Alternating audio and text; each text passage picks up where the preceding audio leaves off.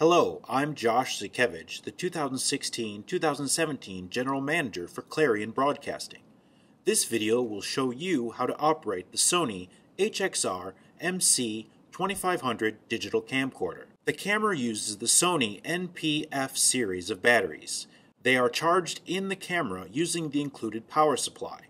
When returning the camera, always plug it in so that it is fully charged for the next student. This camera uses SD memory cards. One should be inside the camera here, and the other can be kept here. Do not use the camera's internal memory. Accessing the internal memory requires a special USB cable and a powered hard drive or select USB drives. Even then, it takes a long time to copy footage off of the internal memory. The camera can be handheld, but I recommend using a tripod whenever possible. There is a 1 quarter inch by 20 screw mount on the bottom. A stereo shotgun microphone is mounted to the camera and plugged in here. This microphone is good for ambient sounds, also called natural sounds or nat sound, and can be used for interviews if necessary.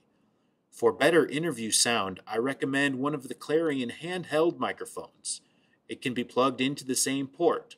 A splitter is also available if you'd like to plug in both at once. There are three hot shoe type mounts on this camera. On the side, you'll find the AV out and headphone out jacks. To turn on the camcorder, press in the green button and slide the switch up. You can use the viewfinder or the screen. There are two zoom buttons. The one on the top handle zooms slower than the one on the right. To begin recording, press one of the buttons with the red dot. To end, press it again. On the side of the camera, you'll find four buttons. Peaking Assign 1. By default, this button will toggle focus peaking on and off. Focus peaking will show you what is in focus by outlining it in white. The color can be changed to red, white, or yellow in settings. This button may be reassigned in settings. Manual. Pressing and holding this button will bring up a list of settings that can be assigned to the ring around the lens. Use the ring to move up and down the list, then press the manual button again to select it. Now, turning the ring will adjust that setting. Pressing this button briefly will toggle between manual and automatic on the currently selected item. I recommend keeping gain and iris on auto, shutter speed on manual at 48, and the button set to focus.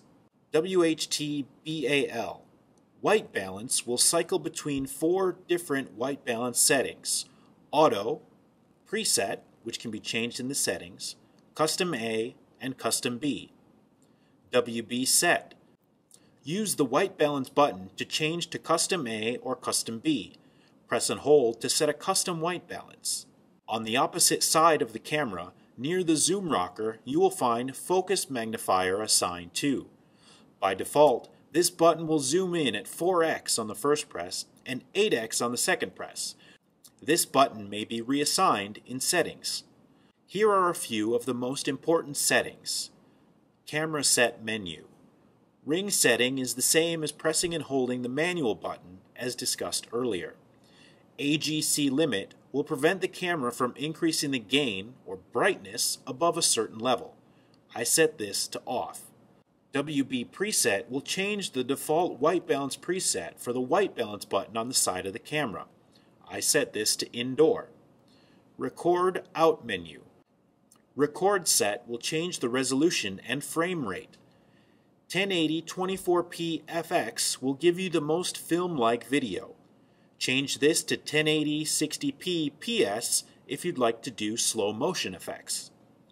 Media Select will allow you to switch between memory card and internal memory. Remember, only use the memory card. Display set menu. Histogram. A histogram is a graphical representation of the light values in your image. I recommend leaving this on. Zebra. Zebra is another setting that can help you control the exposure. The parts of your image that are above a certain brightness level, adjustable between 70 and 100 plus, will show alternating white stripes on the screen. Peaking. Peaking is where you can turn focus peaking on and off, set your color, and the amount. A level of low will show less indication of what is in focus, a level of high will show more, but will also obscure more of your image. Marker. Marker will allow you to turn on and off various visual aids that may help you frame your shot. You can show a center point, different aspect ratios, a safety zone, which shows the edge of your frame, and a guide frame for rule of thirds. Others menu. Assign button. This will let you reassign the peaking assign 1 and focus magnifier assign 2 buttons. Please consider your fellow students before reassigning these keys. Clock set sets the clock. Area set sets your time zone. DST set turns on and off daylight saving time. Rec lamp controls whether the small red light on the front of the camera will turn on when you press record. Sony logo lamp controls the backlit Sony logo at the rear of the camera possibly helpful if you need to know the camera is on, but it does use additional battery power. Media format.